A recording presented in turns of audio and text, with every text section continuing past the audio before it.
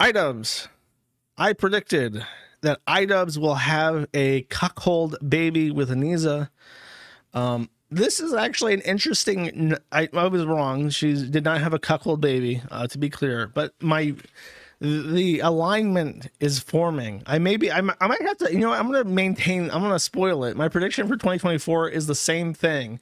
I was just a little bit off. I was close though.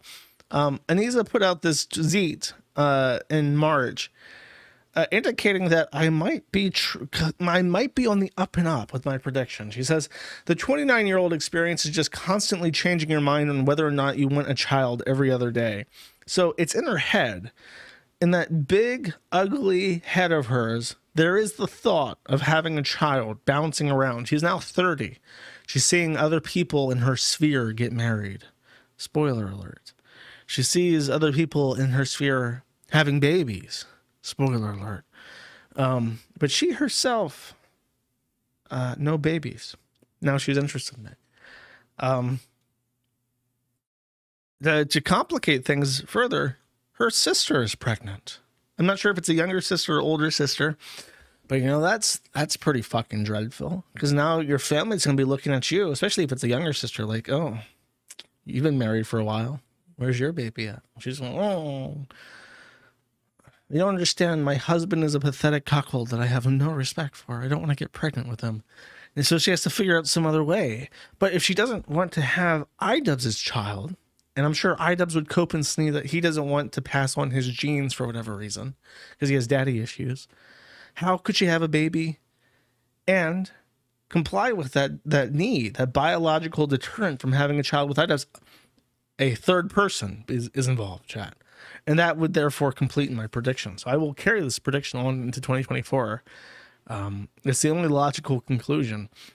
Uh, instead of having a child um, with iDubbbz, she decided to instead inexplicably announce to the world that her husband iDubbbz is fecally incontinent.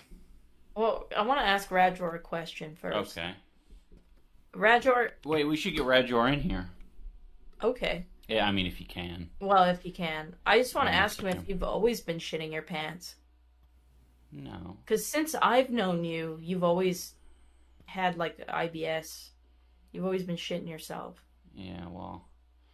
I love that face. Look at that face. Look at that had, face. like, IBS. Listen to him. He just, he knows yourself. what's coming. Yeah, well.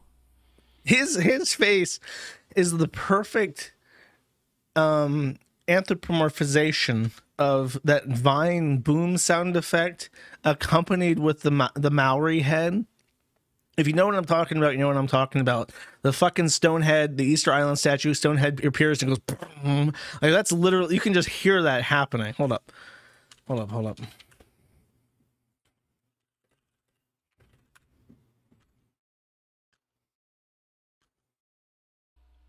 No. Because since I've known you, you've always. Okay. Yeah, I mean, if you can. Well, if you can. I just want to ask him if you've always been shitting your pants. Because since I've known you, you've always had, like, IBS. You've always been shitting yourself. Yeah, well. Perfect. It just it just works. It's so perfect. uh, um. So yes, I predict again for 2024 that iDubbbz will have a cuckold baby with Anisa. There is no way they're splitting apart. What's really funny is um I saw this just fucking around. I went to her profile. Her name is Anisa the Greasy, which is perfect, but she describes herself as a boxing promoter married to a boxer, which is just pathetic. I'm trying to think. It's like I'm trying to imagine what I could call myself that would be an allegory for Anisa and iDubbbz describing themselves as professional boxers. What's what's something that I've done like one time that I wasn't even good at that I could call myself like a professional of? Um a lawyer? legal legal legal analysis. It's like if I suddenly decided, yeah, I'm a legal analysis, okay, uh, or analysis analyst analyst. How do you pronounce that word? I think I'm saying that right. I don't know. It's hard for me to say. That's about right.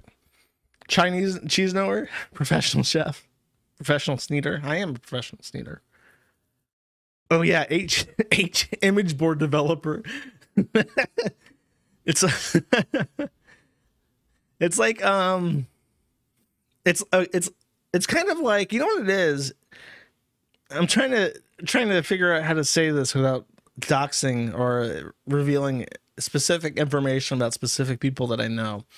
But have you ever met known somebody who has like a real day job that pays the bills, but then they also are exploring like setting up their own business. So they work 40 hours or more a week doing something really menial that's common that most people do. But then when they introduce themselves and they people ask, "Hey, what do you do?" They say, "Oh, I'm a," and then it's like their their startup company that doesn't make any money and hasn't really taken off yet.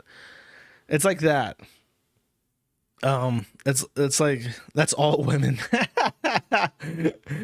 I laugh because it, it's a woman that i'm thinking of but yeah it's like that. It's a uh, it's very similar. Am i describing you? Hey man keep it up. That's that that's that uh, materialization. It works. You just gotta you just, you just gotta you just gotta keep at it. It's a thing that people do though. You know what i mean? Anyways Thank you for watching this clip. This is the CACA Loaf. Remember to like and subscribe.